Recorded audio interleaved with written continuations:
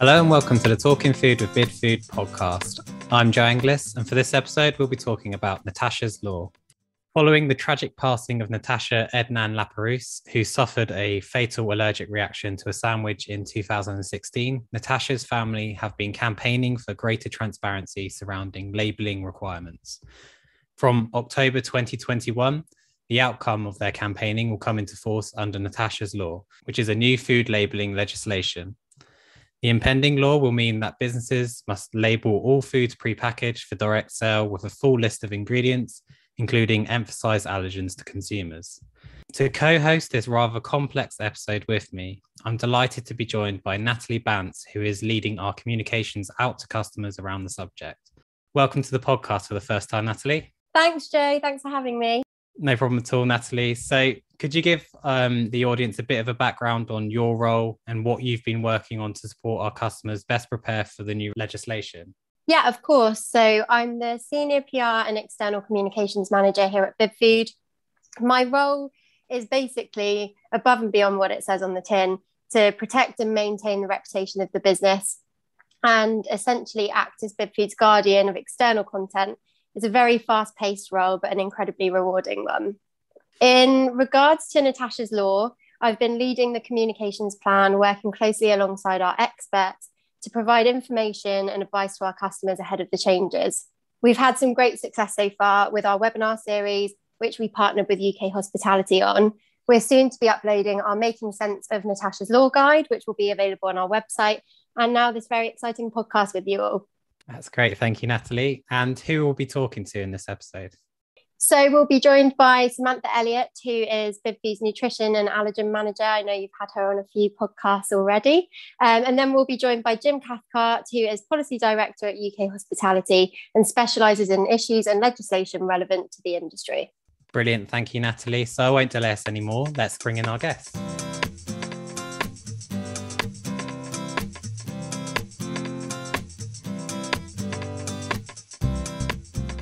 So, our first guest joining us in this episode is Samantha Elliott. Welcome back to the podcast, Sam.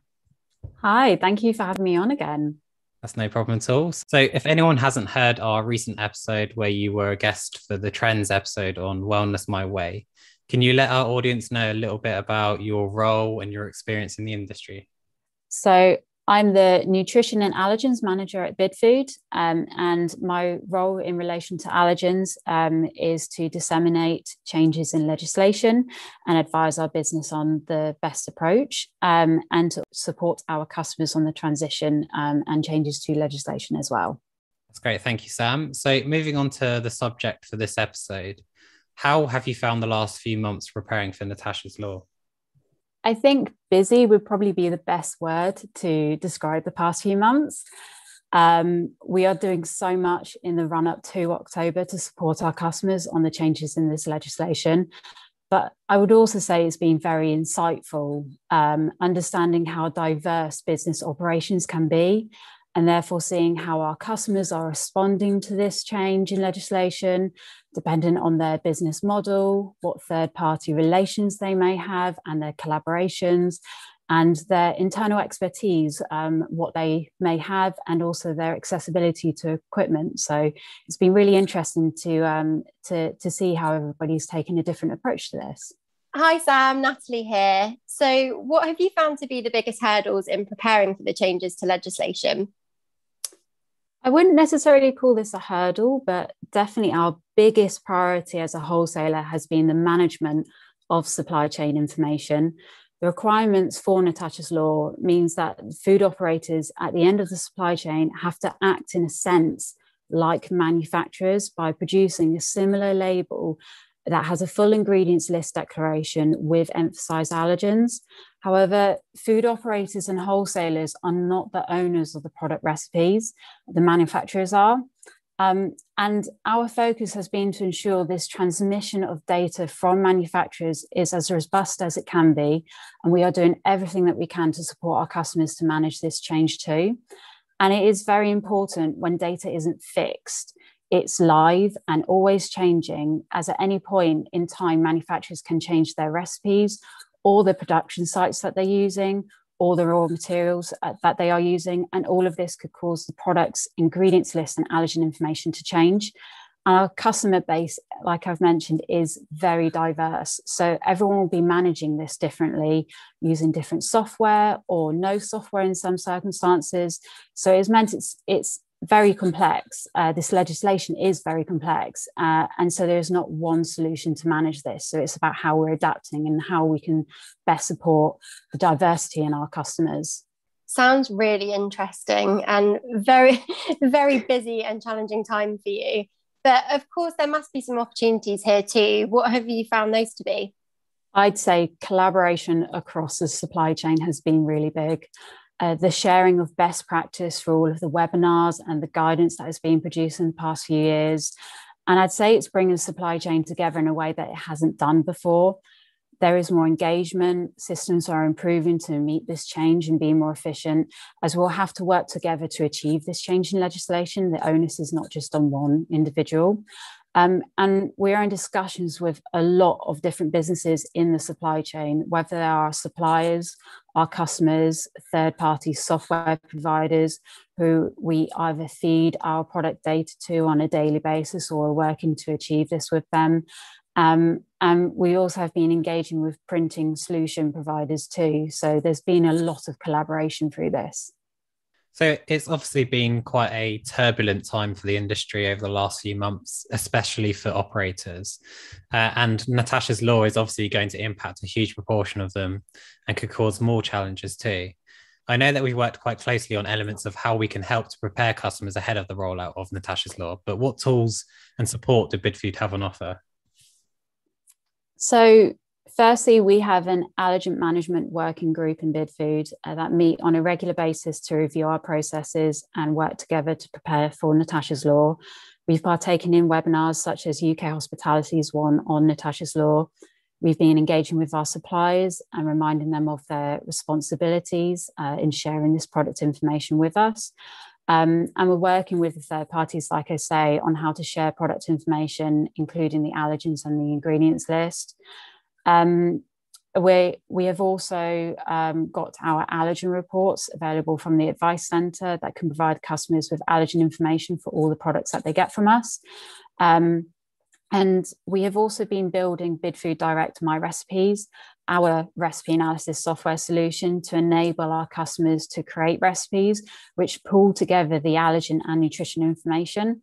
Um, and soon we'll be releasing the next stage of my recipes where the ingredients list for a recipe is generated and downloadable to assist customers in making labels for Natasha's Law.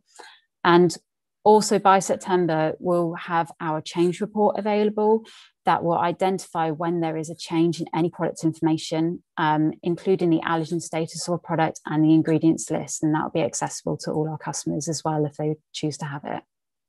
There's so much on offer. It's, it is great to see. So, yes, definitely. In terms of um, the overall feeling within the industry um, towards this legislation change, I mean, we're only a few weeks away now. Do you feel customers, like the overall kind of consensus is that they're feeling more prepared and more confident? It's been a tough year and a half, I'd say, for the hospitality sector. We know that a lot of employees have been put on furlough, at least earlier on in the pandemic, that would have been responsible for managing the change in legislation. And a lot of businesses have not had the same resources as they may have once had to deal with Natasha's law. Um, so these are multiple different factors that make it even more challenging than what it may have been originally. But from speaking to many affected customers, you know that this is at the forefront of their attention and that they are working very hard to make sure that they are prepared for the start of October. Um, so there is a lot of determination, a lot of focus, and a lot of effort being put into this, that's for sure. That's great. Do you have any other advice to offer operators ahead of October? Uh, yes, so I'd say speak to your local enforcement officers if you can. They'll be the ones enforcing this legislation. And so it's important to know if you're meeting their expectations, that you've identified the products that are in scope of this legislation correctly, and that your label designs are meeting the requirements for, um, uh, for this legislation too. I would also say to definitely have trial days before October. There may be something that you've missed that a practice run will pick up. Uh, and this will help you to understand the impact it has on your food service. So, how fluid will your processes be uh, if you're also having to put labels onto certain products? Uh, do your staff feel equipped to make and manage the labels? And how are the changes, if there are any changes in product information, um, how are they actually being managed on site? Um, and if something goes wrong, like a printer being temperamental, as technology can always do that, um, how will you be able to deal with this on site and what will your approach be? That's great. And that was some really useful advice there. So I just want to say thank you so much for joining us in this episode, Sam. Oh, you're very welcome. Thank you for having me. No problem at all.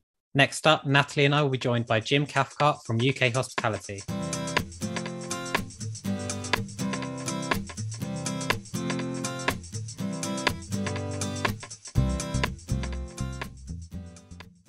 Welcome back. We're now joined by Jim Cathcart, who is the Policy Director at UK Hospitality. Hi, Jim. Thanks so much for joining us. Pleasure. Thank you to uh, Bidfood for having me on the uh, podcast today. No problem at all. Um, so, can you start by giving the listeners a bit of an insight into yourself and what your role entails at UK Hospitality, please? Absolutely. So, as policy director, I look after all of the uh, sort of policy development that affects the hospitality sector. So, uh, in terms of new legislation, such as uh, um, the PPDS uh, piece we'll be talking about today, uh, but also more widely around um, other areas of food safety, copyright law, um, alcohol law, that side of things. Um, over the past 18 months, uh, I've been primarily dealing with the various COVID rules and restrictions that we've all had to to live under um, uh, as, as operators when we could open. Uh, so that's been developing Q&As and guidance for our members, which hopefully uh, was as helpful as possible to navigate the various uh, restrictions that we had to live under. I won't mention uh, things like Scotch eggs in case it triggers any recurring nightmares for, for listeners, but hopefully as we're out of um, the bulk of that now, um, the focus uh, returns to those issues that never really went away, such as food safety and uh, upcoming legislation in that area. So that's sort of uh, a brief overview of what I look after. Thanks, Jim. Uh, Natalie here. So, obviously, we've worked closely on this for a number of months now and had the opportunity to collaborate on our webinar series around navigating Natasha's law, which, as I mentioned earlier, was hugely successful. But a few months on now, um, and a lot closer to when the legislation is coming into effect, what advice would you give operators who are still feeling concerned and unprepared for the change in legislation? Absolutely, thank you, Natalie. Um, I think in terms of um, the well, the environment, the operating environment that everybody's in, um, as Sam alluded to, um, you know, it's been massively challenging 18 months uh, for operators uh, with uh, yeah the wealth of uh, rules and restrictions, often changing on a daily basis, um, as well as the wider impacts uh, pressing on businesses around um, rents, around um, employment issues, uh, staffing, all of the myriad different things uh, that that businesses have had to sort of grapple with. And now we're sort of finally making the start on that journey of getting getting back on our feet um, and and getting the sector back up and going again, uh, turning turning minds to new legislation such as the PPDS uh, changes incoming is is always going to be challenging and. Um, obviously, there there is a great range of support out there from uh, from suppliers. Obviously, Bidfood uh, Bidfood leading that, um, and also from ourselves as a, as a trade association as well. And perhaps we'll come on to what we've been doing around that as well to get the message out to operators, um, as well as the Food Standards Agency themselves. Um, but I would say it is, um, if you haven't been looking at this, now is the time to do it um, with, with the changes incoming. Um, and um, if you are feeling un- unsure, uncertain about it, I think um, a bit of cold comfort, but it's sort of you're not alone. I think there are lots of businesses out there, especially at the smaller ends, who may not have fully engaged with this yet. So it's it's, it's our role at the moment to get that messaging messaging out where we have it. Uh, and those definitions and questions and, and answers for for um, operators um, as quickly as possible. So um, yeah, it's, it's, a, it's a complex piece of um, piece of legislation that's coming in. Uh, there's a lot to get your head around, but we're trying to make the process as simple as possible. Yeah, it definitely does sound very challenging. So uh, you touched on it a second ago, but what have UK hospitality been doing to support the industry ahead of the changes? Thanks, Joe. So um, a number of things, and I think obviously with COVID dominating everything, quite rightly, um, this piece of legislation has its genesis uh, a few years ago now, as, as we talked about the start of the, um, of the, of the podcast. And it's been through sort of various iterations. Legislation's been laid pre-COVID on it. Um, discussions had about what is how this will actually work in practice. However, now we're coming to the sharp end, um, and again, this is coming from um, you know the original legislation was potentially dealing with an issue, or the starting point was an, an issue um, very much around almost sort of pre-pack a specific type of pre-packaged foods. Um, as we all know, the hospitality sector is massively diverse, and that's a strength in terms of um, what it offers, in terms of um, uh, food and drink to people, and hundreds and, and hundreds of different business models out there and types of operation. And as the legislation sort of went through, and now we're working through sort of the guidance to it, that scope opens up. So there's still a lot of questions we ourselves as a trade body are working through with uh, our members and Food Standards Agency at the moment, just to define what is you know what is a PPDS food, what how does a you know a, a product uh, packaged in a certain way you know if it's wrapped in cling film under a dome on a counter does that come into it or not? So again as we're getting closer to implementation date there are still some key questions that we're trying to get clarity on um, and ahead of implementation coming in because what we really want is uh, a consistent approach to some of these interpretations when it comes to scope and not different areas or different local authorities uh, sort of giving their own views on it that may not be consistent with either central advice or, or what actually the law is as well in our view. So it's about getting as many of those questions um, nailed down now and and answers that sort of work operationally and within the law for hospitality. So when businesses start, uh, you know, to implement this from day one, uh, there's some clarity around scope, but it is it is pretty challenging at the moment. Um, as, as we've touched on, we've done a series of webinars with BidFoods um, around this, uh, with officials as well from the FSA to, to give uh, further insight and guidance.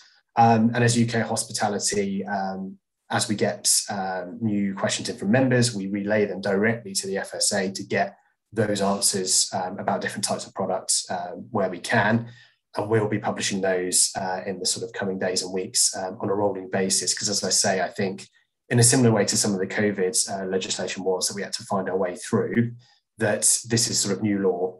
It's not happened before, so there's no precedence to look back on yet. So it's about getting those workable, sensible interpretations out to people as much as possible. So as a trade body, we're we're doing that at the moment for our for our members and also the wider wider sector. That's that's really interesting, Jim, and I think uh, it's it would be good to hear from you. Obviously, you've mentioned there that there are still things that you're working through um, alongside the government um, on behalf of the industry. Is there a nervousness around the fact that there's still there's still some kind of stones that are yet to be unturned, and there's still some information that people are yet kind of desperate to hear so that they know what to do ahead of October? I think certainly there is um, concern about some of these areas where the scope isn't quite yet defined, or how do we do this, or again that wider communication piece out to certainly smaller um, operators who may not be members of trade bodies, who are not necessarily plugged into the FSA as, as, as many companies are and have information from the likes of UK hospitality in terms of what's happening. So certainly there, I think there's going to be um, an area to sort of look at and, and, and get information out. I think with legislation like this, again, because it is completely new, because, as I say, it sort of started from quite a discrete issue that government were attempting to deal with. And as we move into the, the wider breadth of the, the out of home and hospitality sector, all these different um, permutations and different ways of operating um, are sort of looked at under the sort of um, aegis of what was probably quite a narrow scope to start off with. As that scope widens, there are going to be, you know, areas where we don't have clarity yet. And as I say, we're pushing for as much clarity as we can at the moment. So operators and crucially local authorities as well um, can um, have a set of uh, parameters to work to from day one. I suspect um, there will be a number of cases as we move into this legislation um, actually being in effect as well that will throw up new areas which haven't even been looked at yet in scope of the guidance. So that's where it's key again, where we come in as a trade body to give advice out to uh, members in the industry, but also that dialogue with local authorities as well um, to ensure that where we're all finding our way through this in the coming months, that we can come to practical workable solutions where they arise. And again, a light touch approach is, is undertaken, especially as we know hospitality finding its way at the moment after uh, you know the biggest crisis we've ever faced. Yeah, absolutely. Um, and that kind of segues me quite nicely into in, into my final um, question, and that's more around the fact that there were talks at one point that because of the constant challenges that our industry has faced with Brexit, COVID nineteen, um, now a large number of staff shortages across hospitality, that the legislation may actually get pushed back. Is this no longer a possibility? And if not, why have government decided against delaying it? Yeah, obviously this timing is is is pretty terrible. Um, I mean, the the issue that we were facing with is, as I say, this has actually been in train for a number of years now, and actually the legislation and the dates um, the, of implementation were in place pre-COVID.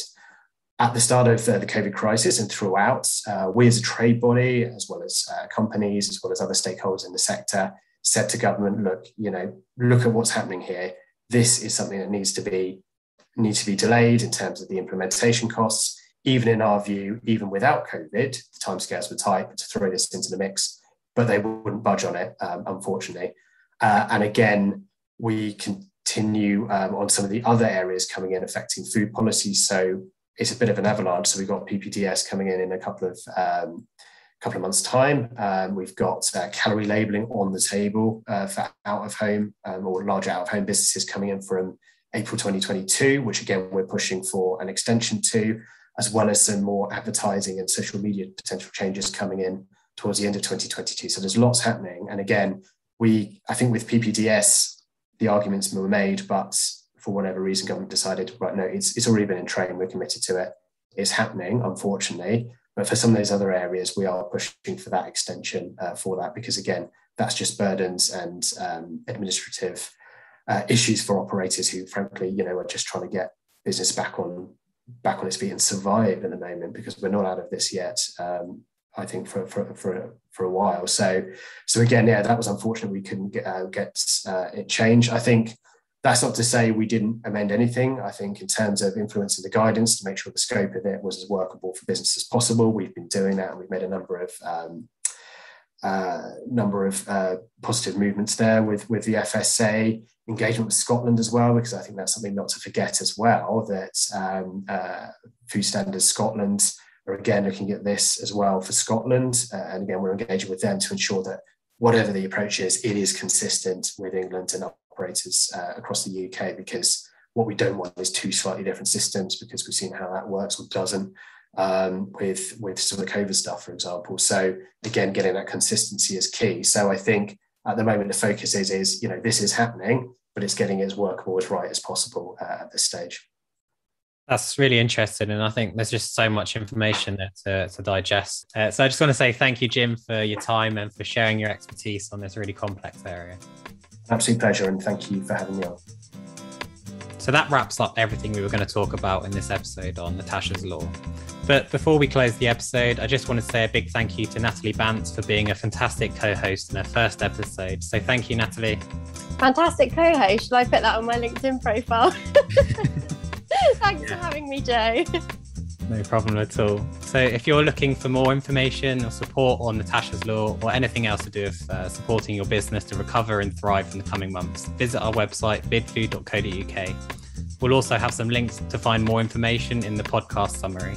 Also, if you've enjoyed the episode, please do rate and follow the podcast on whatever platform you listen to these on. But until next time, goodbye.